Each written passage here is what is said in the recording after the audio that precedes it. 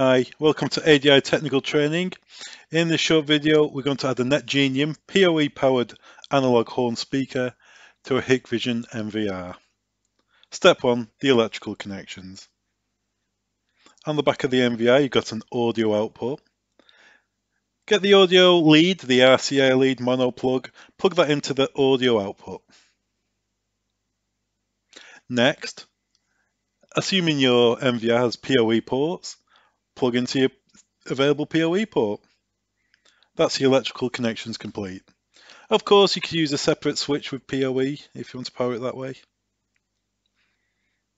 Now, go to IVMS and then browse to the local camera. If you hover your mouse over the image, it'll bring up a menu. In the bottom right hand corner, you'll see the microphone icon. Click on that to start a two-way audio, to open the audio channel. Once testing is complete, go back to the original image. In the bottom right hand corner, hover your mouse on the microphone symbol and click. This will close the audio channel. The installation is now complete. Thanks very much for watching.